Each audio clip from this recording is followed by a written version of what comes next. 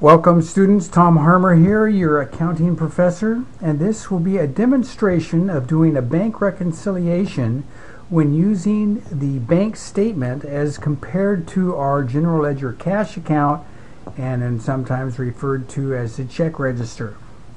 So here we are, let's take a look at an overview of the project. Here's our bank reconciliation form we're going to use. Here's our First City Bank bank statement. And then down here is the uh, cash account general ledger activity showing debits and credits. Okay, so we have, and then over here is our general journal section we're going to fill out with any uh, journal entries that are required as a result of the bank reconciliation. Now, in this uh, is this bank recon reconciliation is is a real life type of situation here, and so we are needing to compare what transactions that happen in our books have actually cleared the bank. And so to do that, we have a process called tick mark notation. So that is the process where we mark off the transactions, like from the bank statement, that have cleared the that or that have cleared the bank. Okay, so let's take a look here in our books. We've got check number 1207 for 125, 1207, so that cleared the bank. So I'm going to put a little X there that both of those have cleared. And then I've got uh, check number 1208, 315. That's cleared. So when we're all done with this, then I've got 1209 at 285. That's cleared and 1210 at 1250 at 2150 that cleared. And then I've got uh, let's see 12 uh, check number 1211 at 250 1211 at 250 okay that has not cleared okay? And then I've got 1212 at 9 that has cleared. Okay and then I've got um, 1213 at 200 that cleared. And 1214 at 30 and 1224 at 24 neither ones of those have cleared okay? So I've got here I'm just going to highlight these in yellow just to uh, make it a little bit stand out a little bit more for us here. And these two did not clear Okay, so these are in our books, but not in the bank. So that means that the book balance is going to be lower than the bank balance, and we need to, in the bank reconciliation, take these called outstanding checks and list them there as deductions from the bank balance.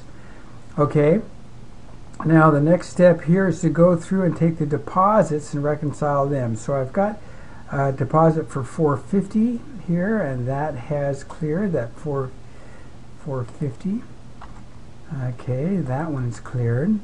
And then I have 150 and that one is cleared. And then I've got 225 that one's cleared. Cleared the bank is what I mean. Okay. Now I've got a deposit on April 30th of 235 that has not cleared the bank. Okay, so that's an outstanding a deposit in transit, we call that.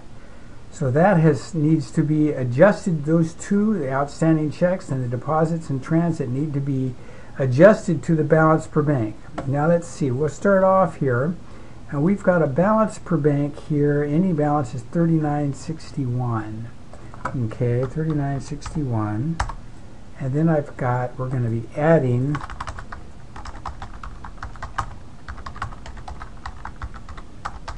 deposit in transit. And there's only one so and that was 235 okay. And then deduct we've got outstanding checks. Okay. And that's going to be let's see we've got uh, uh, 1211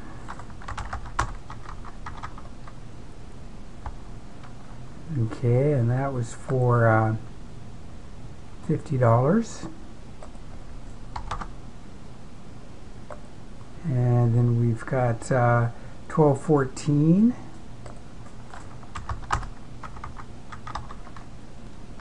Okay, so 12, check 1214 for 30, 1215 for 24, and that's going to give us a negative balance of deduction equal to minus $104, and then we'll get our total here of this column, or adjusted balance per bank. Oops, pardon me, one more time, all the way to the top. There we go. So we have an adjusted balance per bank of 4,092. Now we're going to do our balance per books. Our balance per books was 3961. Oh, these smokes, the balance per bank, pardon me, was 3865. That was the ending balance per bank. The ending balance per books is 3961. Learn from my instructor errors there. Now, let's take a look at this. So we've accounted for everything that happened in our books that wasn't reflected in the banks, okay, with our deposits and transits and outstanding checks. Now we have items in our bank that, that uh, statement that have not cleared our books, okay? It's these three right here. We have a bank service charge. We've got a debit memo and we've got an EFT, which is an electronic funds transfer, in the bank statement that are not reflected in our books. Okay, so let's take a look at the details here. We have, uh, we'll take that bank service charge, and that's going to be a deduction in our from our bank balance because our bank balance is 3961 without recognizing that service charge yet. Okay, so I got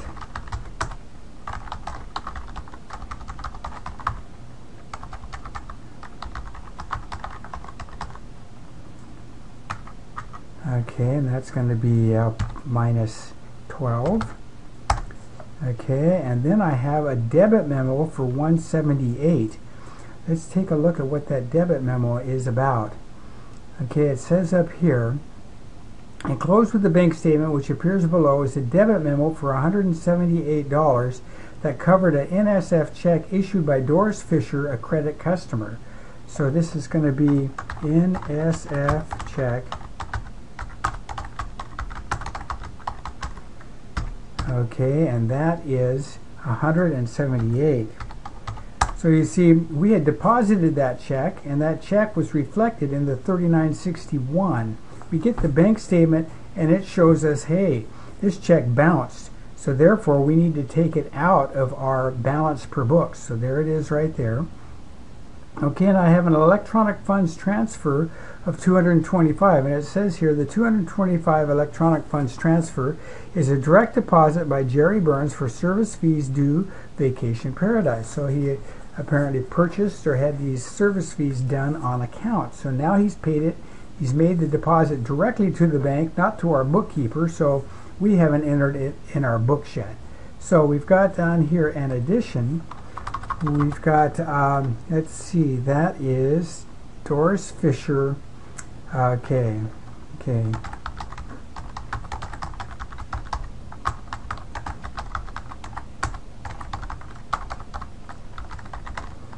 Okay, and that's going to be an additional, there's only one of them, so I'll put it right over here.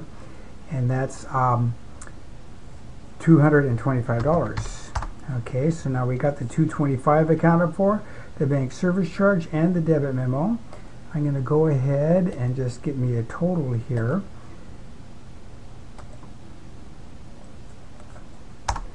Okay, and now we're ready to get our balance per bank.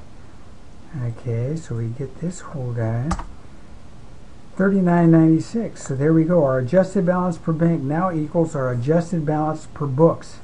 We can't proceed until we have that reconciliation. That is uh, the, the essence of a bank reconciliation to account for the differences. So we've done that.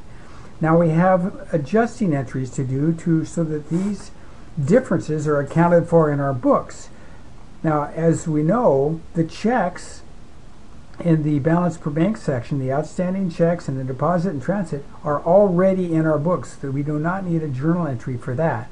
But we have the uh, direct deposit and we have the service charges are not in our books and so that is going to be our adjusting entries for there. So let's enter those those adjustments. So we'll start off by uh, booking the service charge. That was uh, miscellaneous expense, $12 debit. And a credit to cash for $12 and our explanation is bank service fees. And we skip a line and we're still on the 30th and we're going to do the uh, NSF check. And an NSF check, that is whenever a bounce check happens, we have to book that to accounts receivable. Slash Doris Fisher because an accounts receivable is a control account and we have a separate account for each individual that owes us. So we're going to be also posting Doris Fisher's account. Okay, and that's uh, $178 to accounts receivable. Credit of 178 to cash.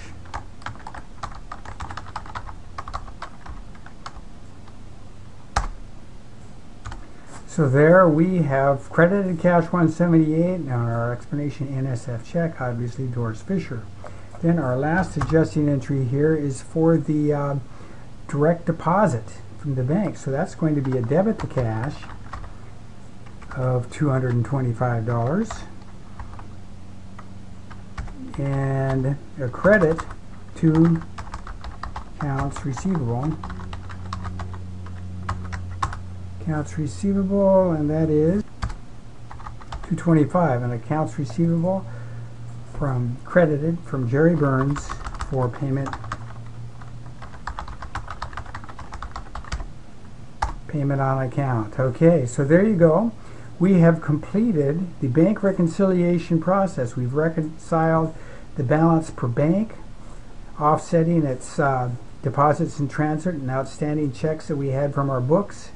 We've taken our balance per books and we've entered the transactions that happened in our bank that weren't in the books yet and we reconciled our balances. Then we journalized those adjustments to books and we have completed the bank reconciliation process. Thank you very much.